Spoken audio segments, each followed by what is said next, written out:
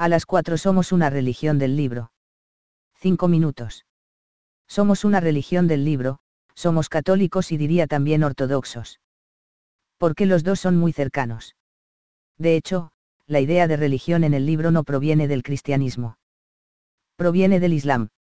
Es el Islam el que llama al judaísmo y al cristianismo las religiones del libro, porque dice que su Corán es dictado, palabra por palabra, por Dios, para que no haya ningún error y que las personas, que eran analfabetas, lo aprendieron de memoria y fielmente. Ponerlo por escrito, en un momento determinado. Luego fue la reforma protestante del siglo XVI th siglo que, deshaciéndose de la tradición que llamaba humana, decía, somos una religión del libro, solo seguiremos escribiendo, sola escritura. Entonces, somos una religión del libro. Bueno, primero responderé que el judaísmo en sí no es una religión del libro. El libro es muy importante, obviamente, guarda el recuerdo. Pero sobre todo es una religión vivida desde dentro por personas que, llevadas por el Espíritu Santo, por las acciones de Dios, por las pruebas, profundizaron constantemente el mensaje hasta la venida de Jesús. Basta comparar la doctrina de Moisés que le enseña que la salvación es conquistar con espada de hierro una tierra, una tierra que es un paraíso. Nunca habla de vida después de la muerte hasta el punto que sus discípulos, los saduceos, en el Evangelio afirman que no hay vida después de la muerte ya que Moisés no habla de ello. Cuando comparamos con los macabeos que escribieron en griego, en el momento de la invasión de los griegos que creen en un alma espiritual, quien afirma en el capítulo 12 que existe incluso un purgatorio para las personas que han cometido un pecado muy grave, ellos adoraban ídolos. Podemos orar por ellos, podemos obtener indulgencia para ellos, en el templo de Jerusalén e incluso podemos pagar, por un sacrificio en el templo. Bueno, cuando entendemos esto vemos claramente que el pueblo judío, ciertamente el libro está ahí pero viene en sí mismo, de una santa tradición que viene del Espíritu Santo en los corazones de los judíos. Por tanto, no es una religión del libro. Por eso son tan móviles, se adaptan y nunca dejan de progresar. El cristianismo, al menos en sus inicios, es del mismo calibre. Cuando Jesús se fue, dijo, os enviaré un paráclito, el Espíritu Santo, el Espíritu de verdad, que os recordará todo lo que os he dicho. Así que al principio no había nada escrito. Los textos comenzaron a ser escritos por Marcos, quizás 15 o 20 años, después de la muerte de Jesús, y luego continuó.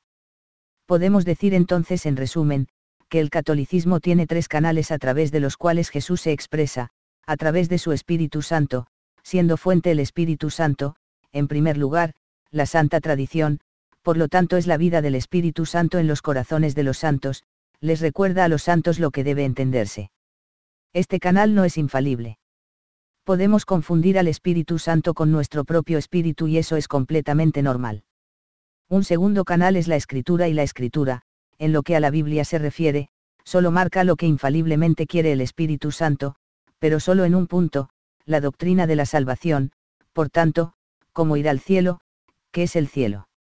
En otros puntos, no, no hay infalibilidad, los hombres pueden cometer errores en sus escritos o escribir con sus palabras de época, poco importa. La Biblia, el Antiguo Testamento, no debe tomarse como un libro de ciencia, de física nuclear, etc.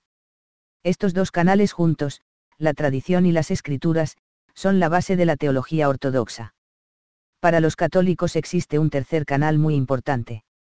Un carisma dado a un hombre, un hombre llamado Simón al que Jesús llama Pedro.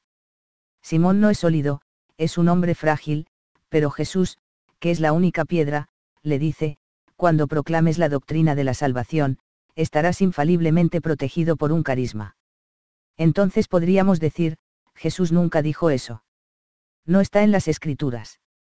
Pero sí, precisamente por eso lo digo, porque el Espíritu Santo, que sigue actuando en la Iglesia, lo afirmó, durante el Concilio Vaticano y, hay un carisma de infalibilidad, en la persona del sucesor de Pedro, este el carisma no viene del sucesor de Pedro, viene de Cristo y solo se ejerce cuando, como Papa, un Papa pronuncia solemnemente o, de manera ordinaria, cuál es la salvación y cómo conseguirla, universalmente y no convenientemente. Daré un pequeño ejemplo, los papas dicen que la guerra es siempre un mal en sí misma y eso es cierto, y sin embargo el Papa Pío XII dijo que era necesario, mediante la guerra, destruir a Adolfo Hitler. Universalmente es cierto, la guerra es siempre un mal pero en la práctica, a veces, es un mal menor y el Papa Pío XII hizo lo mejor que pudo, hizo una apuesta que resultó ganadora, eligió luchar contra Hitler y por eso tenía que indicarle a Stalin que Hitler iba a atacar, no era infalible, era arriesgado. Esto es lo que llamamos pastoral, es falible, es frágil.